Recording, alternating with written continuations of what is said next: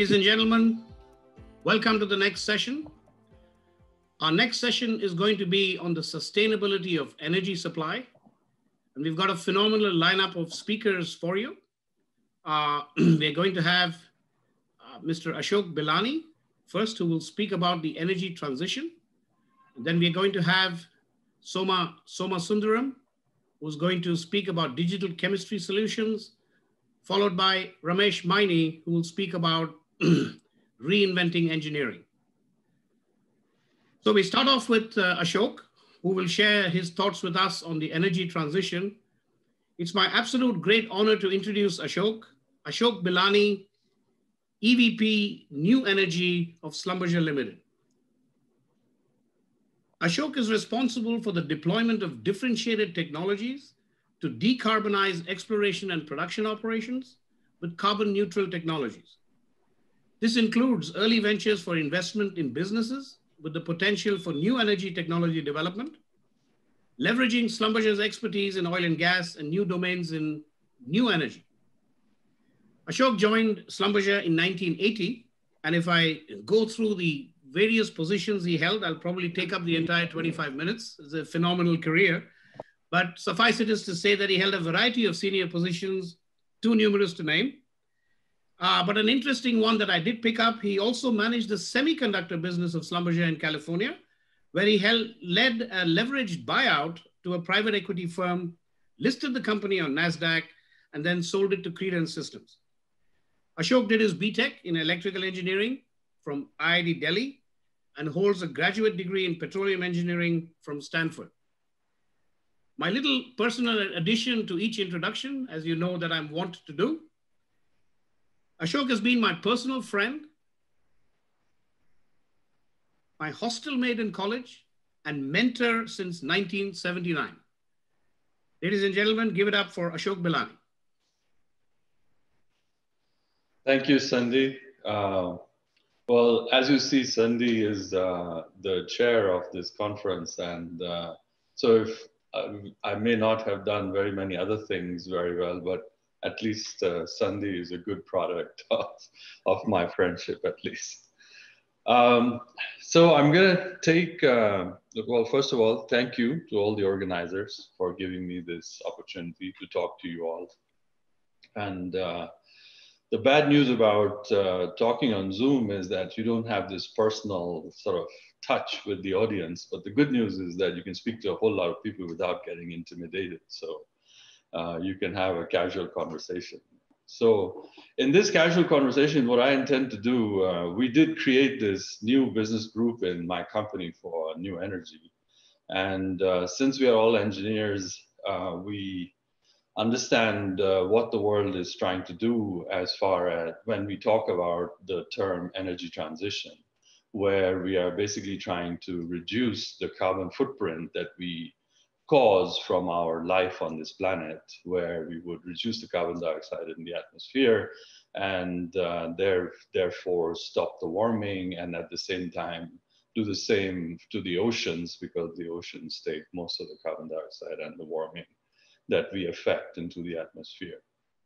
So this term, energy transition, I'm going to use some slides because if I just talk to you, I wouldn't leave any images in your minds that are significant. So uh, let me let me put some slides on on.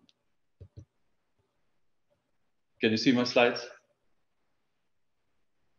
Okay, so uh, first of all, the most important idea that I want to throw at you is that this energy transition whereby the world is going to start using energy sources which have low carbon content or no carbon content to reduce our carbon dioxide footprint in the atmosphere and the oceans it is a pretty complex, uh, uh, say, transition, and it will take a long period of time and a lot of effort.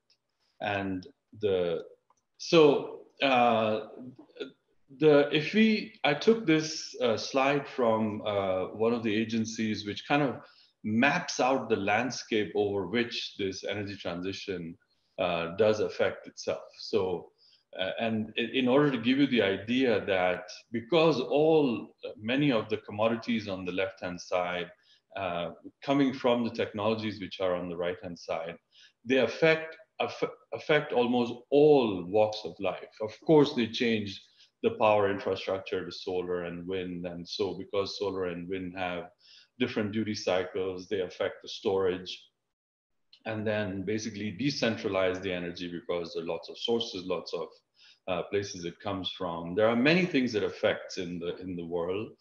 At the same time, because uh, energy needs is a fundamental thing for transport, uh, you need a carrier for the energy from the electron to, to something that you can take to the point of use of the energy. It affects mobility in a very significant way, all forms of mobility. It affects the industries, many different industries quite significantly. It affects heating and cooling of buildings and uh, it affects agricultural and many other industries in. So if you were to create the landscape of all the changes that would be caused if you fundamentally change the sources of energy, it is quite a large landscape that you have to actually transform. So the energy transition is not only switching some energy sources from, let's say, fossil fuel based sources to uh, clean energy sources, it is actually a transformation of all the associated applications that use this energy. And because energy is so fundamental to practically every walk of life and every industry and all mobility, it actually creates a large transition for the whole world in how it functions and how it lives and how it uh, actually provides value. So I'm going to take four charts and they talk about the energy mix, the electrification story, the carriers that are needed to be able to transport energy, and energy efficiency technologies, which are the largest change that will happen, uh, to create um, an image in your mind of how you could, say, paraphrase or parse what we call this huge phenomenon of the energy transition.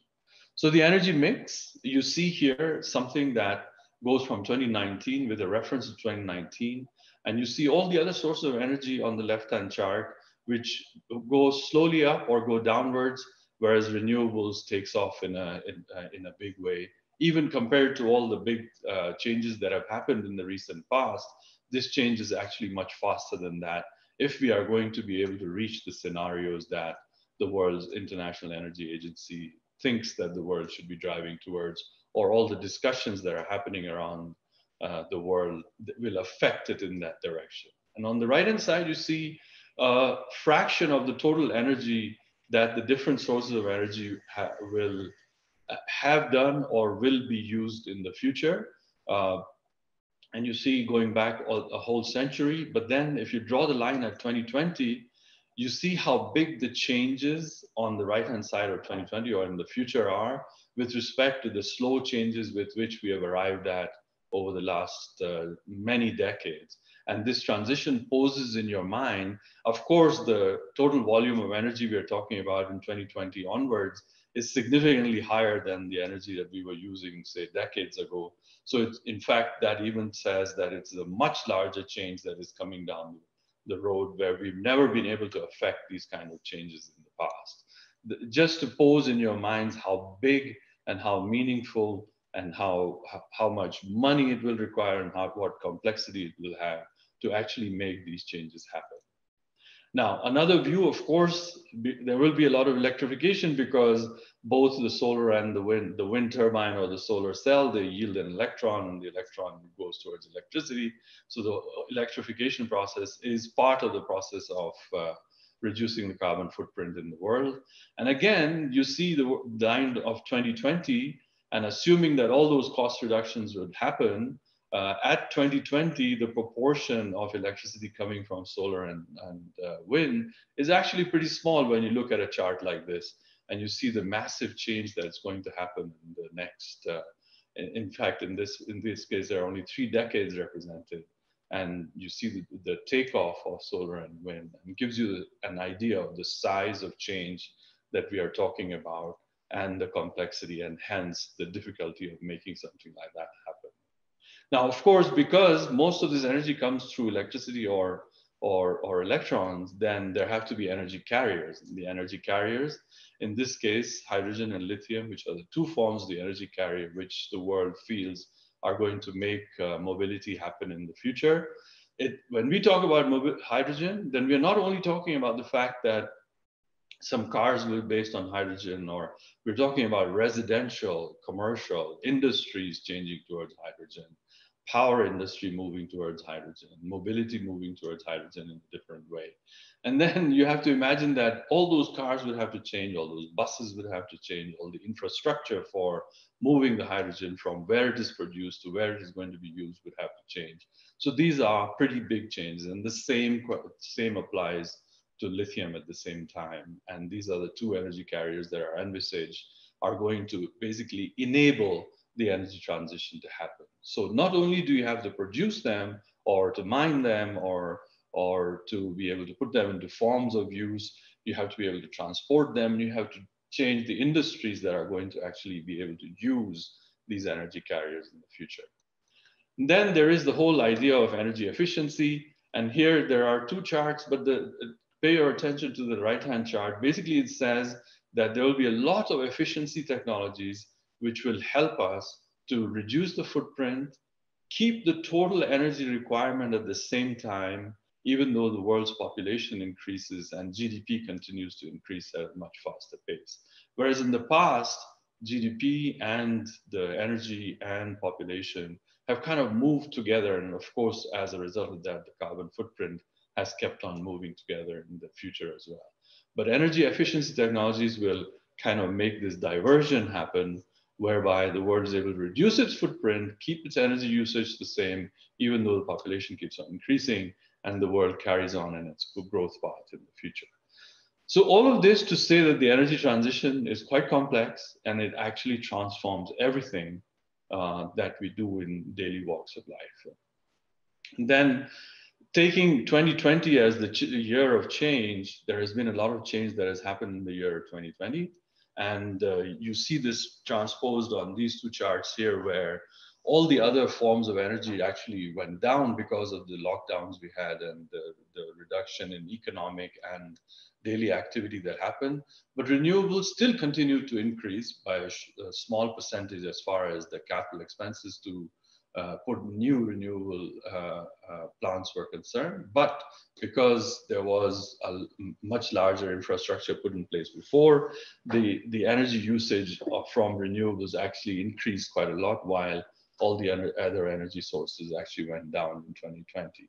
And in the middle of all that, the, all the, the recovery conversations that are being uh, put in place for economic recovery in the world from here onwards, they, they, uh, I just take one chart here to represent the fact that the ESG mandate in the financial world on how finances are going to move into the world of energy is going in the direction that uh, larger and larger ESG requirements will go on to finance or the use of uh, money in the future. So the pace at which basically money will be exclusionary towards high carbon and inclusionary towards a more and more low carbon footprint uh, usages or sources or carriers or all the activity that, of the energy transition, uh, it's going to increase at a very rapid pace.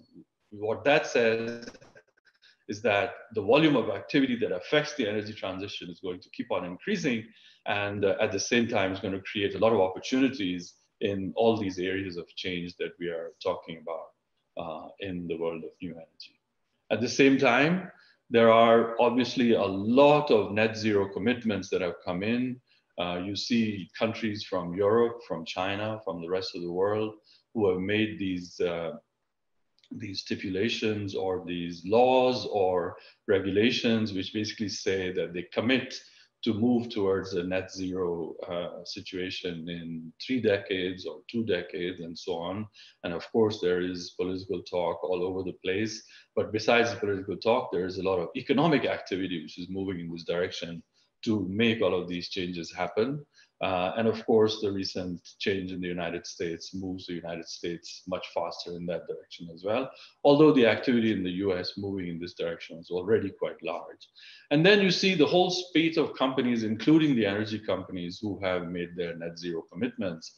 And so all this says that compared to even say three, four years ago, the amount of activity in the world of, let me just use the term new energy as uh, my group is called, in the world of new energy, the activity is going to increase very, very significantly uh, in the coming future. It makes for an exciting time of development, but it is quite challenging from the point of view of the slides that I've shown you, which basically say that this, this is not an easy uh, transition. Uh, it's going to affect us a lot uh, to make all of these fungible, technically fungible, technically economically viable, uh, and for us to be able to affect them in our uh, lives.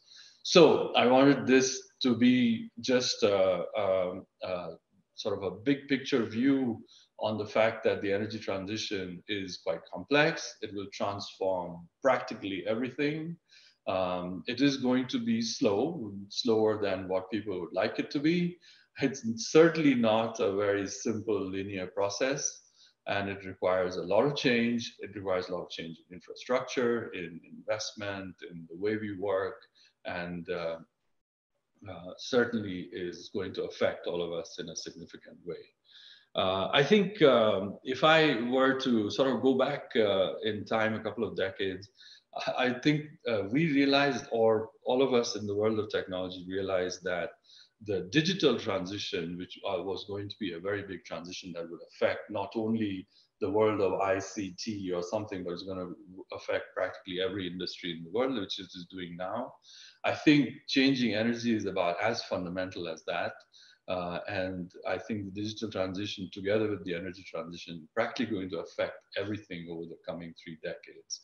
Now, while that is in, on, one, on one hand a challenge because it needs to be done so that we reduce our carbon footprint on the world, uh, at the same time, it's a great opportunity of all the new things that are going to happen, the technologies, the innovation that's going to come about to actually make this happen. Um, that, that with that, I think I'll hand it back to uh, Sandy. If there are some questions, I'm willing to take a question or two at this time.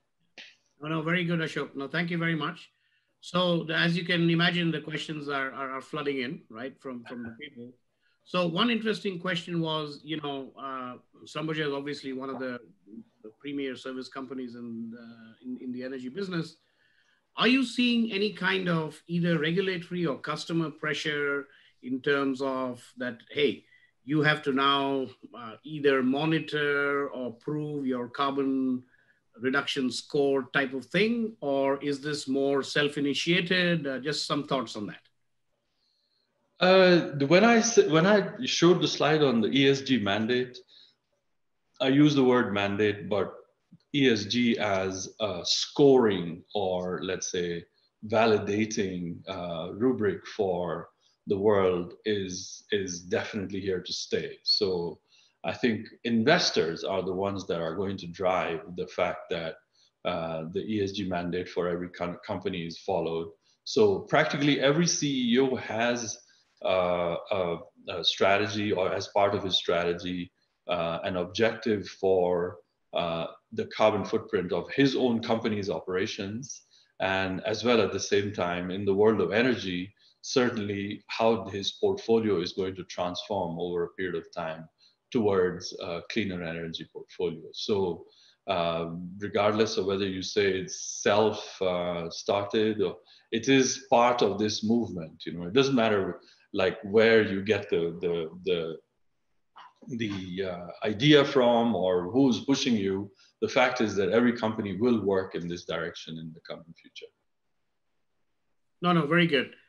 Uh, so you know, uh, Modi ji was very strong in his in his in his, in his comments, and uh, you know he he pushed us all to really think about the next generation, the future, the younger ones, etc. So there are or there is a large amount of student attendees among the population. So there are a lot of students all, all over the world listening to you, Ashok. So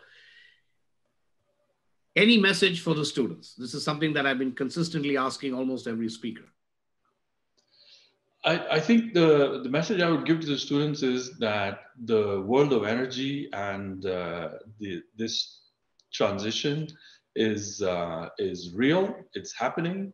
Uh, the train kind of left the station. uh, and it is a good train to jump on board uh, off, if you like, uh, because there's going to be a lot of very innovative, technical, financial, and industrial activity in the area. So uh, this energy transition is, uh, is going to be providing huge opportunities for people in the future. Now, at the same time, I think uh, the world of oil and gas continues to provide the source of energy to whatever fraction it does today. And uh, oil and gas is going to be required for a long period of time at the same time as well. And we need to continue doing that very efficiently while these portfolios slowly, uh, gradually transform to have a lower carbon content on the current operations and a lower carbon con uh, content in the portfolio in the future. Very good. Now, you know, it's often said that uh, perception winds up being reality more than reality at times. So uh, there's an interesting question here around the perception today seems to be that Europe is slightly ahead and maybe some countries in the Far East. Do you see any kind of geographical gaps between the players as the world migrates towards the energy transition, Ashok? Well, I, I, I think uh, Europe, the, the difference in, uh, from the rest of the world in Europe is that uh, Europe's basically said that their whole economic recovery, uh, a fundamental part of that story is the energy transition. So the hydrogen economy is going to be pushed very hard and so on because it actually creates local jobs. It creates local, it increases the local economy. It makes everyone participate participate in a new activity which is fungible for the future. And I believe that all of this is going to transpire almost everywhere in the world. Certainly in the United States, people are starting to discuss like that. Uh, and I think this is become, going to become more and more the case everywhere. I don't think Europe is ahead in any sort of uh, activity per se, if you like. It's ahead in uh, believing in this direction, and uh, the rest of the world will also uh, believe in this direction in the future. I believe. Sorry, you're muted, Sandy. Yeah, I, uh, we have Viti Bindra, the co-chair of the of the conference here. I don't know if he's on. If he's on, uh, Viti, we have maybe a couple of minutes. If there is a question you would like to ask our mutual friend Ashok for the benefit of the attendees. No, first of all, Ashok, thank you very much for making time to come for this uh, event. Uh, we always look for your support and guidance, and I have seen since 2013 the big mega show which me and Sandy and the team put together in Houston. So thank you once again. So it's fantastic how your your your career path have changed in the last four years from fossil fuel to what you're telling me today is like a is a totally different world. But no, I really appreciate what you're doing and how you are making the change happen and this fantastic journey you are going through. So all the best to you and we IITians are supporting you and Cindy might have told you there are more than 10,000 IITians or 10,000 audience worldwide uh, looking at the program, looking at the session. So you might be loaded with a lot of questions later on. So be ready well, with that. Well, I'm very, very happy to be here. It's good to see you again, Viti. Viti. And uh, I think this is an important subject. I hope it is. Uh, I, I, I went through it very fast because I just wanted to put an image in people's mind of what is coming down the road. It is a very exciting area, very challenging area, and will make lots and lots of opportunities for people in the future. Yeah. Thank you, Sandeep. Well, thank you, Ashok. I mean, indulging in my pension for the pun, you did give the topic your energy, so that was good. You know. So. trust trust you to come up with something. Ashok, thank you so very much uh, uh, once again. And uh, with that, we'll probably move on to the next speaker, unless there's any other burning question. I think we've covered them all, right, Vidi? I think we're good. Yeah, we have covered them. Thank you. Thank sure. you. Appreciate Thank it. you. Thank you. So with that, uh, uh, ladies and gentlemen, we move to our next speaker on the on the panel. It's uh, my very good friend uh, Soma Somasundaram, if I may call you that. Is just after one meeting over the phone. Uh, so uh, Soma is going to take us through digital chemistry solutions. It was a very intriguing topic that he, he brought to the table. Soma Somasundaram serves as the president of ChampionX and their chief executive officer, and he's a member of its board of directors. He previously served in a similar capacity with Apergy Corporation, which merged with the upstream's chemical business Nalco, or Champion as you may recognize, in June 2020. Prior to his leadership of Apergy, he served as the vice president of Dover Corporation and as president and chief executive officer of Dover Energy. Previously, Somasundaram served as the executive vice president of Dover Energy, EVP of Dover Fluid Management, president, president of Dover's Fluid Solutions Platform, president of Dover's Gas Equipment Group. Man, is there anything you haven't done, Soma? And president of Dover's RPA Process Technologies. Prior to joining Dover, Somasundaram served in various global leadership roles at GL&V Inc., as well as Baker Hughes Inc. Somasundaram received a BS in Mechanical Engineering and an MS in Industrial Engineering from the University of Oklahoma. He currently serves as a board member and president of the World Affairs Council of Greater Houston. This is an organization some of you may be familiar. It's really designed to generate discussion and deepen knowledge of global issues. Uh, keeping with my train of uh, a, a, little personal touch to each introduction, uh, I had the great delight of uh, uh, meeting Soma virtually just uh, a few weeks back, engaging him for the conference. Uh, I also discovered that he does some wonderful work for charities, uh, and, and, it's just some phenomenal work that Soma does. Uh, and you know he'll be as humble as ever. But in just one meeting to a total stranger, the warmth that you exceeded to me, Soma, I thank you for that. I salute that. Ladies and gentlemen, I present to you Soma Soma Sundar.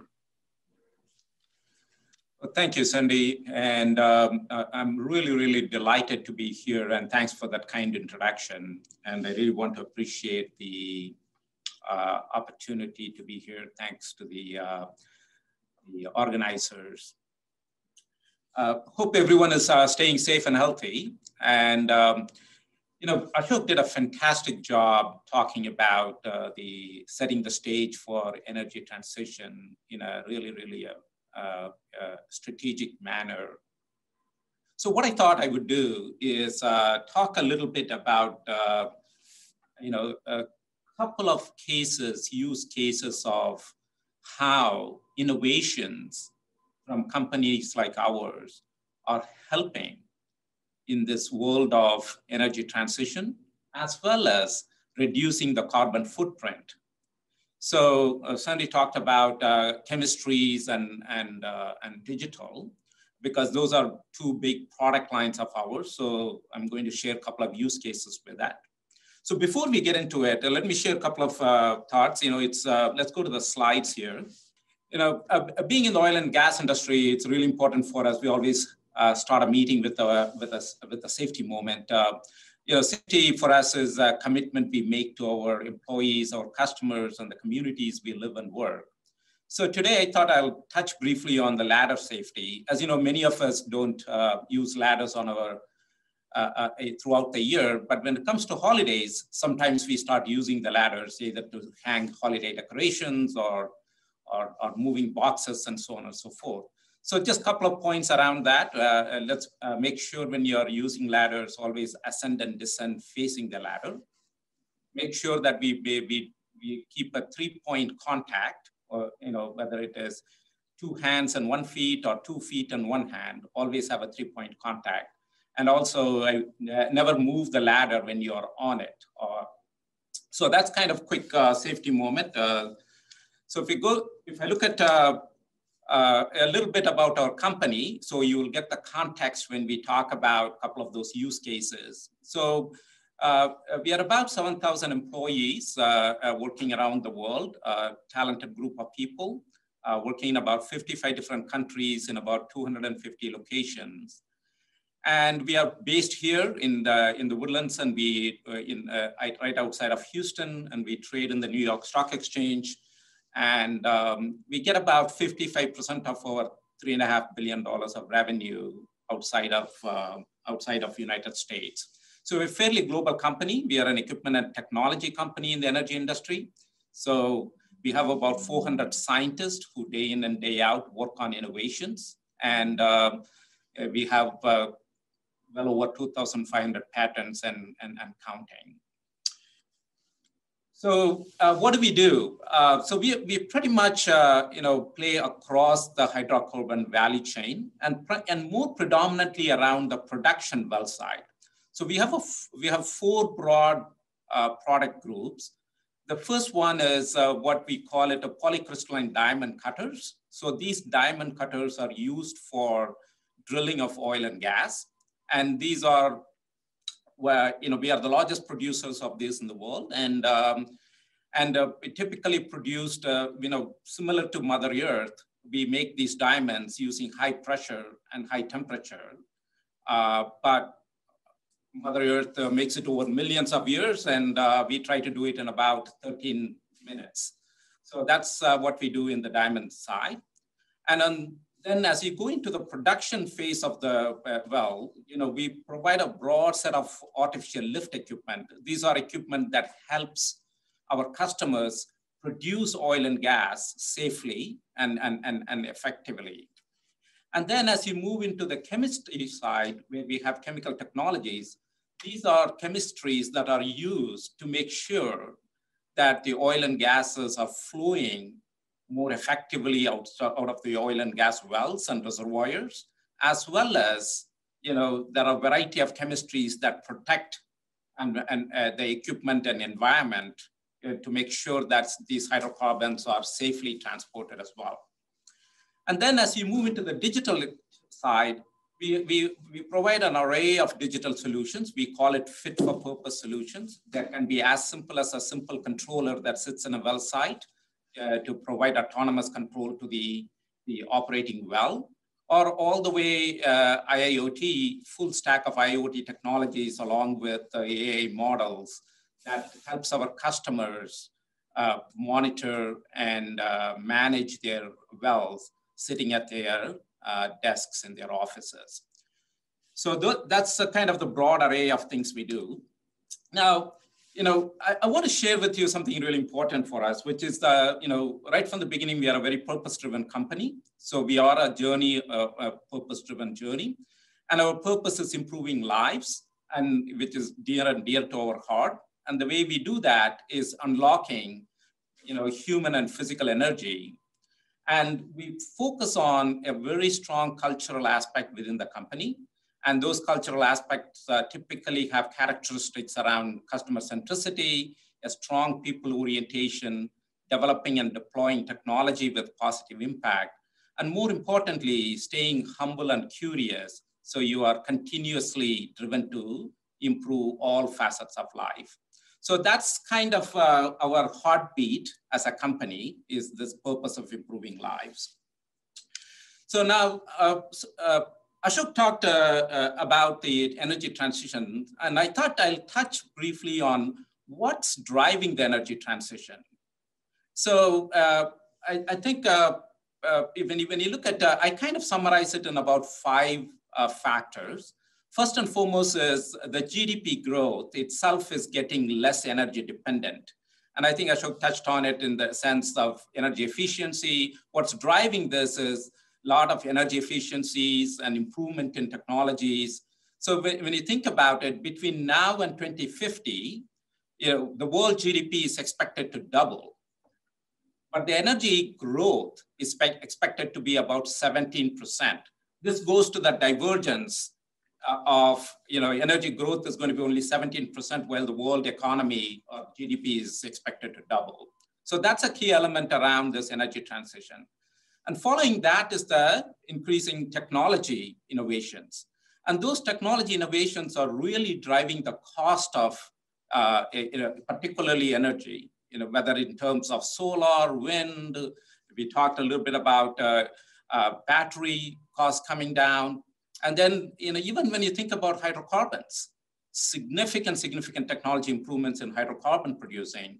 To give you an example of in, in our own world, you know, to, you know, I talked about the diamond cutters we produce. If you go back to 2000, a unit of diamond we produced would have removed X number of uh, rock, you know, as when you're drilling for oil and gas. But today, the diamonds we produce will, are removing 1,500 times more rock, the same unit of diamond.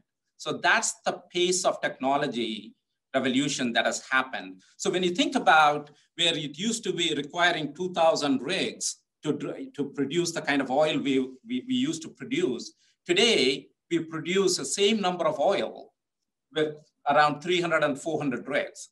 So all those technology innovations are driving the cost down. So that's the second aspect that's driving the energy transition. Regulatory tailwinds is a big aspect of it, you know, whether it is in terms of uh, price of carbon or phasing out of IC engines. You saw yesterday, Japan came out and they wanted to phase out IC engines. UK has already announced, California has already announced, France has talked about similar things. And then the increasing consumer pull. I think the consumer sentiments and particularly the recent pandemic is even accelerating it, particularly around remote working and also around you know, wanting to use energy efficient technologies. And then lastly, the investor sentiment. You know, today, if you look at it, almost 20% of the funds under management, you know, use some type of a ESG uh, evaluation mechanism. But soon, it's going, it is headed towards 50%. So clearly investor sentiment is also pulling us towards that.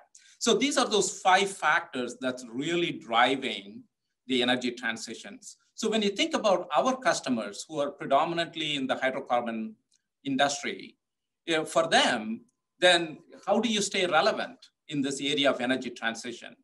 You know, clearly the, you know, our view is the energy basket over a period of time is going to contain multiple sources of energy. You know, today, while renewables are small part of it, the energy transition is real. So it's going to get bigger and bigger. But we also hold the viewpoint, even when you get to a time of 2040 or 2050, the hydrocarbons are still going to play a, a very important and a significant role in that energy basket. But what will be required is to make sure those hydrocarbons are produced in the most or in the low carbon way or most efficient manner so that it promotes prosperity around the world, but at the same time, it protects people and planet. So for us, as a, as a, as a part of the oilfield services group, it's really, really important. We help our customers continue to be efficient and reduce their carbon footprint by providing technology and solutions that helps them do that. So I want to show you a couple of examples of how we do that. So if you look at, uh, you know, here's an example. You know, everybody, if you know anything about oil and gas, you probably know Permian Basin. So Permian is one of the largest producing basins of oil in the world.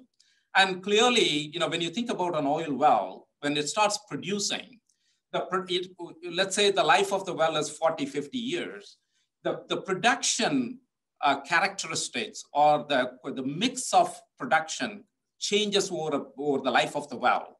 You know, it could be starting off with just uh, oil and, and some water, and over a period of time, it may produce multiple times water or maybe along with that gas and other components. So the so protecting the well and making sure right type of chemistries are applied so that the well can continue to flow well, as well as to protect the assets, like the pipes, like the downhole equipment. So here's an example where, you know, the, while it started off as just a corrosion inhibition, as time went on, you know, the well's characteristic change. And now you are uh, dealing with a lot more iron sulfides and, and which and, and then on top of it, significant amount of scale issues. Now, in traditionally, it would have taken three different chemistries to address those.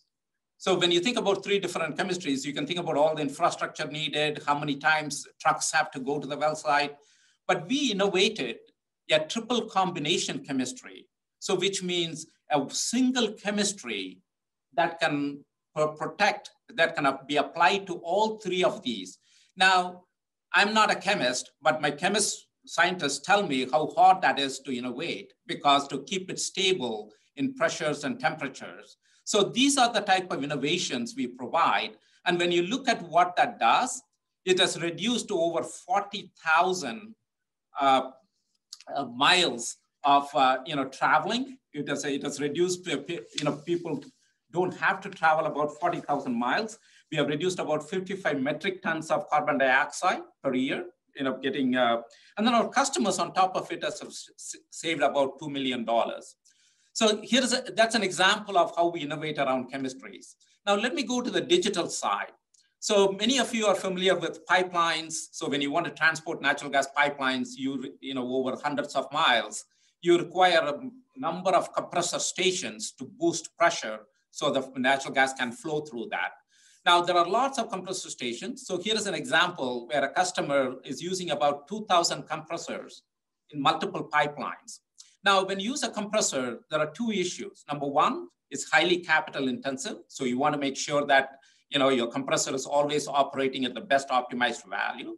And then the second is any type of fugitive emissions that will come out of the compressor, either it's due to valve leaking or so on and so forth. So you want to prevent fugitive emissions. So, you know, we, our predictive diagnostic and monitoring technologies, and, you know, we have developed technologies based on physics-based models. We all know this works on a thermodynamic cycle. And so they all work on a physics-based model. But by combining Uh, the artificial intelligence models with it, along with the physics models, we are able to yearly detect a lot more of the failure modes, including leak detection, as well as when certain things, components will fail. So if you look at the graph on the right side, so your traditional physics model may, may, may, may be able to help you detect a leak occurring probably about four or five days ahead of time. But whereas by using the artificial intelligence model and the historical data, we are able to now advance that to about 14 days before uh, a, leak, a leak would occur. So imagine when that happens, you know, when, when that kind of uh, visibility is available to a customer, so they can completely eliminate items things such as preventive maintenance or redundant capacities. So what you see on the graph here on the left side, you can see how the customers are able to do that. Instead of using 2000 compressors, now they are down to 1200 compressors. And then on top of it, we are, they are able to reduce all this fugitive emissions by almost 80%. And again, this digital innovations, you know, not just on the hardware side, but also on the software side and the advanced analytics, analytics models as well as failure analysis. So those are a couple of examples of how you know, we help our customers. There are multiple innovations that are going on in this. And I'm excited because in the energy transition is real, but hydrocarbons will continue to have an important role to play in it.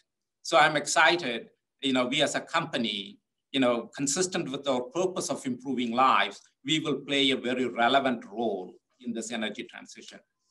So with that, you know, want to wish everybody a happy holidays. And um, you can see the graphs around here are the, are the, the kids from our associates sending in their holiday wishes. So we typically make our cards using our uh, kids making holiday cards. So happy holidays, everyone. And with that, Sandy, I would uh, turn it over to you for any questions.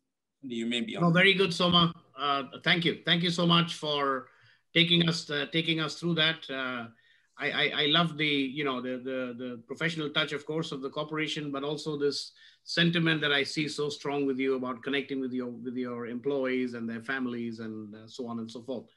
So my my my, my standard question, uh, which I've been asking almost every speaker systematically, because for me it's about the younger generation, about the students. Your message as CEO of ChampionX Technologies to the many thousands of students listening to you right now. So, I mean, I, I think I would say first and foremost, you know, always stay curious and always stay humble because there is so much to learn. And curiosity, sciences have shown that curiosity is the number one predictor of, uh, of, of success. So staying curious and humble will be really, really important. And I think, uh, you know, my message, you know, is a little along the lines of what Ashok said. The, look, energy transition is real, but I think, you know, you will, you will hear a lot of news around how, you know, one energy will completely, you can eliminate another, other form of energy. So nobody really knows how the energy transition trajectory will look.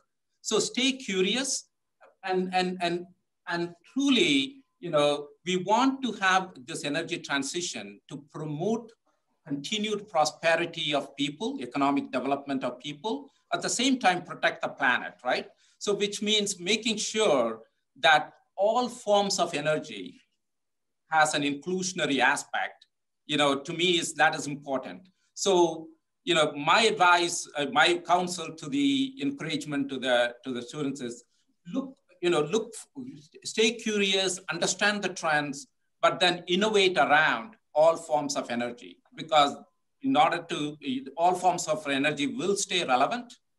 So innovate around all forms of energy. No, no, excellent. Uh, you know, so here's a question, and I'm going to read it exactly as it is because I can see this is a very heartfelt question that's come in. And me being in the oil and gas industry, I can understand the question a little bit more. So maybe you can put context around the question and answer the question, right? It's quite plaintive. So many decades, the oil and gas and energy companies were doing well. Do you think the oil industry will still be doing well after this energy transition? Yeah, so a uh, great question. You know, look, uh, uh, you know, I've been in the oil and gas industry, and you know, so uh, there are two things that are important here. One is the oil and gas industry has to recognize, and we have already recognized mostly, that this energy transition is real. So, which means the past practices of oil and gas industry, you know, where you know we, we have been uh, very undisciplined about our investments, you know, during the good times, you know, we have been extremely undisciplined about uh, capital allocation. So part of the issue why oil and, you know, the reason today oil and gas industry is not doing well, part of the reason is because our investors have, you know, been soured by the amount of value destruction that has happened in the industry. Now, having said that, what I would say today is the industry is going through a structural transition and the leaderships and you know, leadership have realized the importance of capital discipline. So I think that the, the industry is starting to realize to live within the means. So we are going through a transition period in the industry where we are trying to get healthy. The way I would describe it is, you know, when you're sick, you take bitter medicines to get healthy, but eventually you'll get healthy. So I am very positive that we will get healthy. And once we are healthy, we will continue to do well, but the industry will shrink because in part of getting healthy is the industry has to has to shrink, and then we will be we will be doing well as an industry, albeit we'll be somewhat smaller than who we are today. No, very good. Uh, uh, that was great, Soma. So we do have a couple of more minutes. So maybe I'll do something uh, interestingly different. Let me throw it to the to the other panelists. You know, if uh, uh, Ashok or maybe uh, Ramesh, you had a question for Soma since we have a couple of minutes. If you don't, I'll give Viti the opportunity to ask one. Okay, let me let me let me pull out another question for, here. for me, yeah, for me, these guys are too brilliant to ask any questions. maybe maybe I'll make a comment if you allow me to. Yeah, yeah, of course. Well, I, I'm referring to the question that Soma just answered. You know, this this existential question or this challenge question to the oil and gas world. You know, uh, I think maybe actually a very interesting uh, parallel industry is the industry of uh, mobility or cars and buses and any kind of mobility, if you like, right? And uh, the fact is that if the energy transition, or I shouldn't say if, when the energy transition actually happens, and as Soma said, it'll happen at various pace or in various directions, if you like, um, there is a definite, you can make a definite statement that all the car companies as you know them today or the mobility companies as you know them today are not going to exist as they are today, for sure.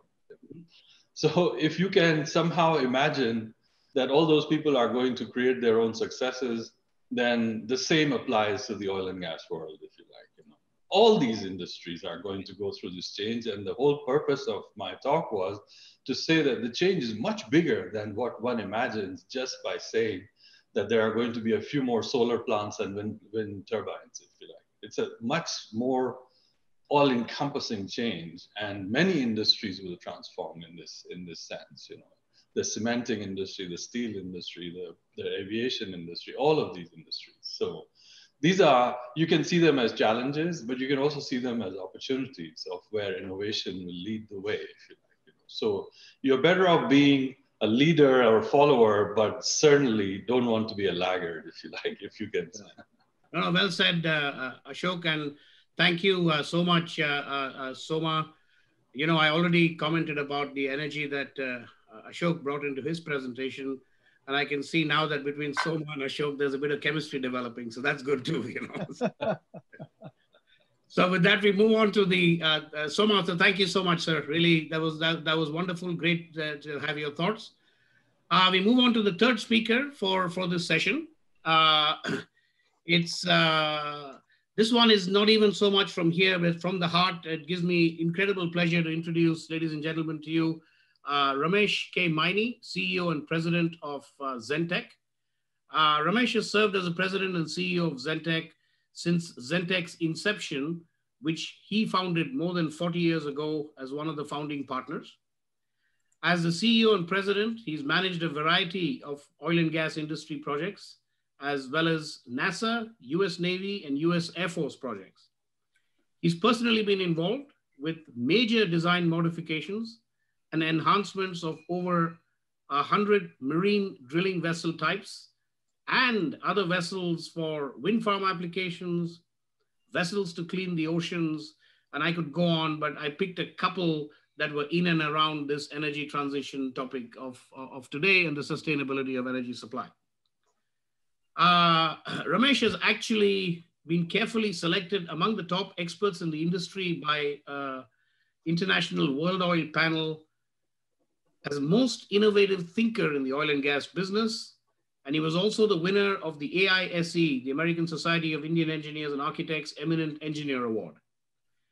Uh, Ramesh received his MS degree in structural engineering from the University of British Columbia, Vancouver in Canada, and a degree in civil engineering from IIT Bombay in India.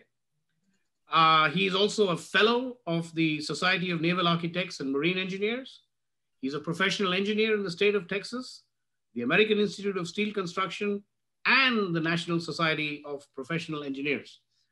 Uh, my usual little personal touch of the end of each introduction, I had the great honor and privilege of uh, meeting Ramesh at the Pan IIT conference in 2013.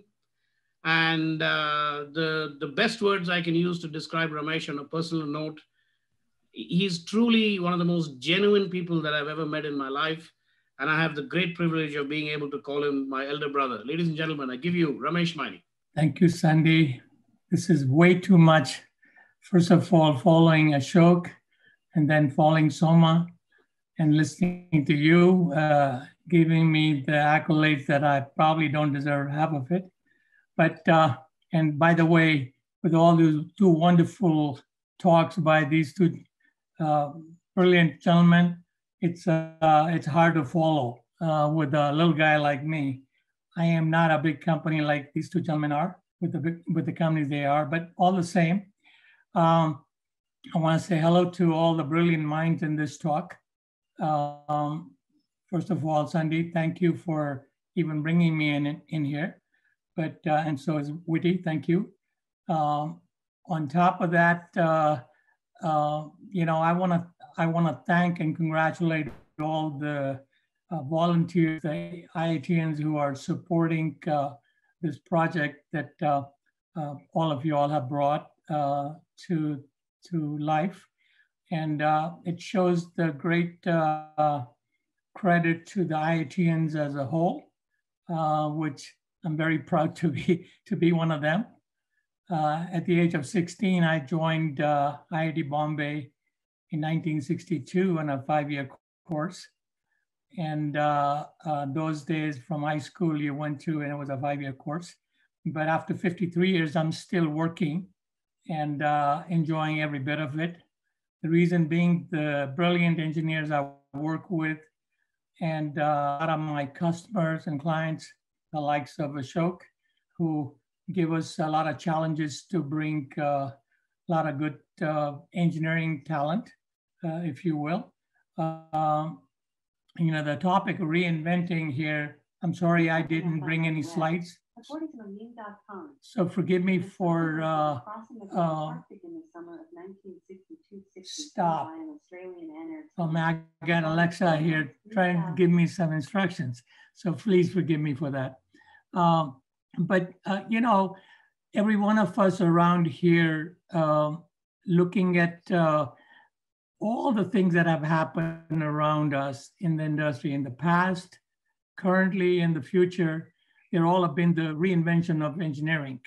You know, every day we we do something in engineering, and I don't know if any profession uh, that, that, does what engineering does, any profession, whether it is uh, uh, you know cooking food at home or uh, you know all of the equipment that comes into it, or whether it is uh, sports, all of the technology that has gone into the sports, whether it is going to the moon and or Mars, uh, that's been all engineering. So this all re- those are all uh, reinvention of engineering, if you will. Uh, these brilliant minds that I I call myself one of them. All the IITians are such brilliant minds. They're bringing uh, world over some great results every day you all bring the most out of each industry. I can't talk about each profession or each industry. I can only talk about uh, the industry that Ashok has talked about and Soma talked about. That's the oil and gas industry. Uh, since 1972, I've been in this industry. And uh, uh, I've had the pleasure of working with lots of great people. Um, as a company, we design, we build, and we perform construction management on a number of mostly offshore, but some onshore drilling rigs. So even in the oil and gas industry as a company, we're in a small part of drilling rigs. What I want to tell you is, uh, and uh, you know, these uh, brilliant people are on the on the panel here. They already know all these things, but you know how in the 50s we were on land, in the 60s we start going in shallow waters, and then in the 17s, 18, 80s, we went into mid-water depths, like 500 meters. And then in 90s and uh, went into 1500 meter water depths. And then now in the 20s, we're uh, going into, you know, uh, 20, uh, sorry, 10,000, 12,000 foot water depth, which is about 3,500 meter water depth. That's uh, reinventing engineering, if you will. And uh, we've been part of it, a lot of that development. And, uh, you know, the, the, all elements of engineering, whether it is uh, naval architecture, whether it's uh, structural, mechanical, electrical, metallurgical, all the engineering disciplines uh, perform in this uh, field.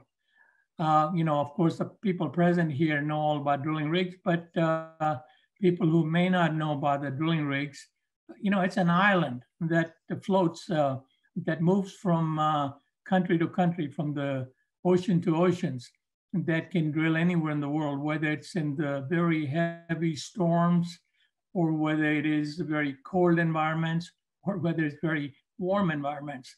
Uh, we have to have all kind of mechanical means to have weather, uh, you know, capability to withstand weather, uh, whether it's in winter or it's in summer. So we have ACs, we have heat, uh, we have to have the steels that are designed and uh, used for weathering all kind of uh, uh conditions. Uh, you know, some 200 people live on board uh, these days that serve the industry, working 24 7, 365 days a year. Whether it's Christmas, whether it's Thanksgiving, whether it's Diwali, whether it's Dussehra, people still work on board two shifts a day and perform. Um, looking at the technology from uh, reinventing engineering standpoint, we started drilling in 5,000 PSI, something 350 bars. Uh, we went on to, in the 1780s, went on to 10,000 PSI, some 700 bars. And then in the 90s, we started 80s and 90s, we went into 15,000 PSI. Now we're in 20,000 PSI and still growing, maybe even 25,000 PSI in 3000 and more. But all the other reasons uh, that we're doing things that uh, help us. Imagine being in 3000 meter water depth and then drilling still four, five, six, seven kilometers in the ground to produce oil and, oil and water. Those are all some engineering talent that, uh, uh that has been brought in brought on by the brilliant minds. I, I say all these things is because of the youngsters who are there in the industry, despite uh, all the other uh, news about how bad some people think oil and gas has been, uh, we all know that oil and gas is not going to disappear. The brilliant minds are going to still continue bringing a lot of the great things. So, you know, uh, you know, there are other innovations that have taken place, like the horizontal drilling. Used to be we drilled 10 wells, we find one successful well. Now we probably do more like one out of two wells. Those are all the innovations of uh, engineering. Shale oils and oil sands and uh, all of these are newer innovations. We are working on some of the marginal fields right now. You know, there were times when marginal fields were left alone and we're working on developing those, uh, not only just we, but industry as a whole. But, you know, against all odds, when everybody is against the oil industry, we all have to reinvent ourselves to other engineering sites. So the wind uh, producing energy, uh, solar, energy, solar energy, the thermal energy in the ground, uh, wave-induced energy, and or like the likes of Bill Gates, who has come up with uh, brilliantly uh, safer ways of having nuclear power. These are all going to be the newer technologies that are going to solve actually the power-related problems, but oil and gas is still never going to disappear. So, you know, as an industry, the innovations are many, many more. Uh, look at the virtual reality, look at augmented reality, artificial intelligence. Uh, we all are working in predictive analytics now to where we can look at the equipment from all aspects to give it a longer life. We are using virtual reality, using 3D cameras to scan structures that we can know within one to two millimeter accuracy how we can modify equipment on the on the vessels or drilling rigs or platforms or even the uh, other kind of vessels that are uh, confined environment. So, you know, uh, all of this thing is resulting in more and more innovations that are resulting in better, safer, uh, you know, productive uh, uh, aspects for human um, resources and human needs. so you know, as a company and as an industry, uh, our industry has been always looking forward to doing more and more things. Um, you know, recently uh, we uh, tried to come up with something newer. For example, all ships, boats, barges, drilling rigs, plat offshore platforms, they, we all have ballast tanks which are uh, using salt water. And uh, you see that every after a few years of uh, a new construction, all of them develop corrosion. Uh, we have recently gone into where we can, uh, without entering a tank, we can scan a tank and show you the condition of the tank, whether it is in good condition or in corroded condition, as if you're sitting two inch, I mean, uh, a foot away from it, looking at it like you're there in that room. You could never do that before. Without any light, without any human intervention, we can scan a tank and tell you what the condition is. And then you decide if there is something has to be done. In the past, there have been some rules to modify structures because there's thumb rule says 15% loss replaces steel. We can now prove to you sometimes even 30%, 35% loss is not necessarily uh, replacement, or sometimes even 5% has to be replaced depending upon where in the structure that's a problem. This is predicting and you know creating assets to have a longer life. The intent is that we are all, especially in our industry, we're struggling to keep the economy in such a way that the costs are brought down. So we're working towards some of these aspects to bring the costs down. The ballast uh, uh, water treatment, uh, the, the escape gases, gases from the engine rooms.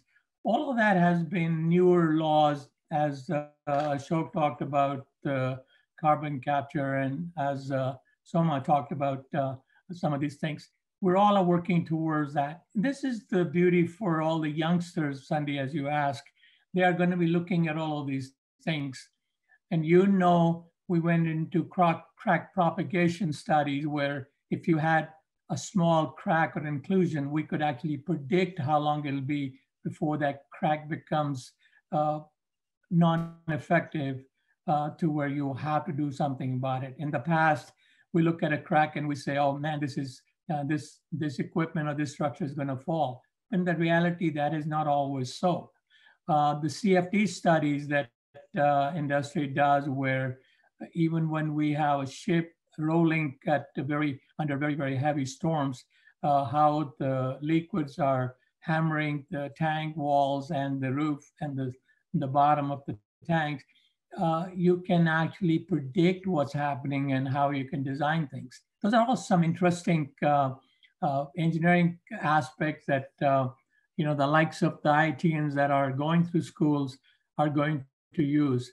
But we have some other challenges. Uh, for example, there are over 8 billion tons of plastic float, floating around the world. You know, we talk about green energy and we talk about windmills and other things, but somebody's going to have to work towards uh, removing all these plastics.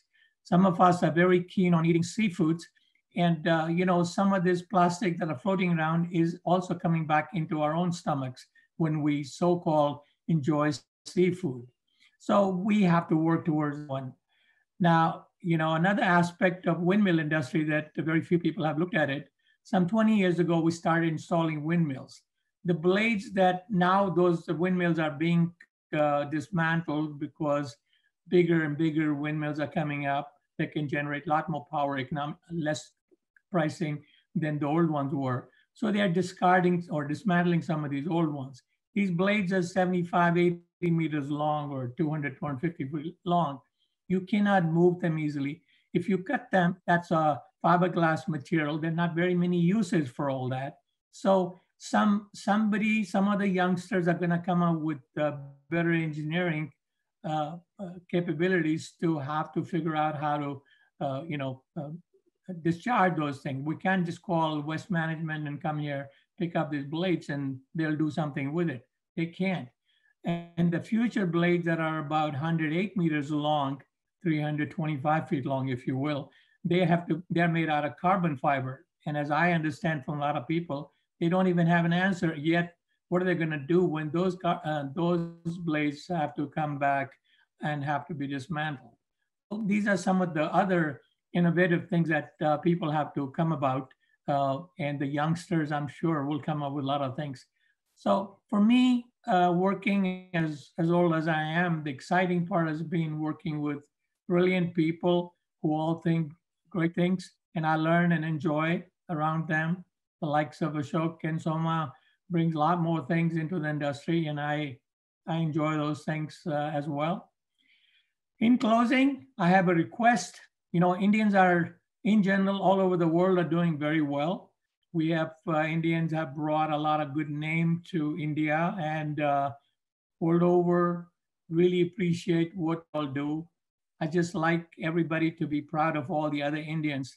Uh, we should be a team that really uh, look at each other and uh, and look at our kids, look at uh, other people's kids, and really appreciate each other because that's something that we don't do very well. Um, maybe I'm wrong in saying that one, but that's something is a request that uh, we should all do. We should all praise each other thoroughly because we all deserve it. And uh, a good praise brings the best out of everybody. So with that, Sandy, I say Jai Hind. But uh, if there is any question, which I doubt there's anybody going to have any question, but uh, I still am ready to answer if I know something. Thank you, Ramesh. I appreciate uh, that was uh, you know uh, coming from from from the heart. I know we had a bit of a, an issue about slides, and uh, it might have been easier, but thank you for that. And so I'm not going to ask you the standard question that I ask all the other speakers about your message for students because you did uh, address this in your speech. But maybe a slightly different question, which is, uh, you know, you saw that very plaintive question about, oh my goodness, what's going to happen to oil and gas? Uh, you know, Ashok uh, addressed what they are potentially looking to do from uh, uh, their company point of view, and Soma looked at it from ChampionX's point of view. So, any thoughts around that as to uh, survival techniques, I guess, if nothing, if, to, for want of a better phrase. Yeah. Well, I don't, I don't believe the oil and gas is going to totally disappear. Okay, even 100 years from now, it's going to be there, and there's going to be more and more research and better things going to happen. You know, we're already doing all sorts of things about trying to take care of the pollution, take care of the exhaust, you know, the, the dumping of ballast water in the sea. We're doing all kind of things as an industry. So yes, you know, it's good to have some of the challenges. It brings the best out of everybody.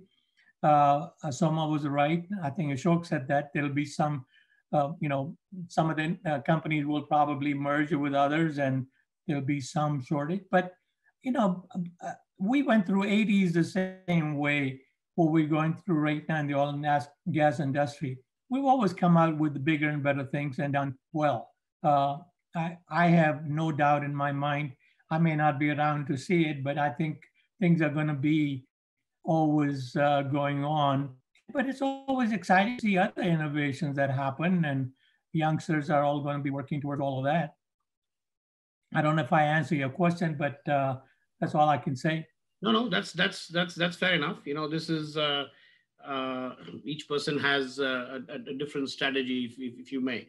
So we still do have uh, uh, two, three minutes. So I thought maybe we could uh, maximize the time. I'll throw it out to the uh, speakers again. I haven't got any questions being fed in from the audiences yet, but I'll throw it out to the, the, the other uh, speakers that went before you. Soma, Ashok, if you have any questions.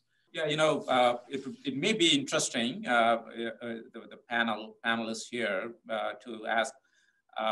Obviously, everybody talks about peak demand for oil, you know, so if they have to make uh, their educated guess, uh, their own personal guess when, uh, roughly when we may expect a peak demand of oil, that could be interesting to see the different perspective. Okay, that's that's interesting. I mean, this was actually structured as a series of three keynotes. It's it's interestingly morphed into a panel, but it's great as long as it's adding value to the attendees. So maybe I'll throw that question in the same order as we went. Ashok, maybe I'll throw that to you first. We did have a discussion about tough questions, right? So. well, yeah, I think uh, there's uh, obviously questions around what how what the demand scenarios are going to look like in the near future, um, and whether the peak actually peaks at a hundred or I, I think the, it's not the, that's kind of like a, a tick in the ball, or let's say it's just a number and a discussion, if you want, right? What is the fact is that uh, demand is slowly creeping back up. Uh, once the life comes back, it'll get back up to the 96, 97 million barrels. At 96, 97 million barrels, the world's going to have a tough time to produce because of the low investment that has happened over the last uh, uh so many quarters and is going to continue for maybe a few more. Uh, so there will be tightness for uh, I don't know how long that tight, tightness will be based on how big the the gap is, and in that case, does the price go up to a very high point where uh, people start uh, belting up on the demand again? We, we don't know that, you know, and and this as we said, this transition is real now for sure. Right. And what pace it will continue at, or exactly what the numbers are going to be in various aspects, are not the, the main question. The main question is uh, how do you innovate fast? How do you bring these economics to the right place uh, very quickly? Um, for that matter, by the way, oil activities may be thwarted just because of the fact that people don't like the footprint that oil has. Who knows? You know, I mean, the, the world might transition in a very different way in the next few years. So, very good. I think there are different aspects that one has to consider about the energy transition. I mean, and, and, and on that note, I guess uh, with the permission of the other participants of the destination is clear, it's just how quick you get there. Uh, on that note, I'll close this out because we are, we are just out of time. But with all sincerity uh, from here, Ashok, thank you so much. Uh, Soma, thank you so much. Ramesh, thank you so much. And uh, we will look forward to continuing our discussion, hopefully when COVID is over, over possibly a glass of wine or beer. Really appreciate it, guys. Thank, Thank you. you. Thank you, Sandy. Thank you very much. And Witty, both of you. Thank you. I would have called Thank him. He's not. He's gone for the next one. So take care, guys.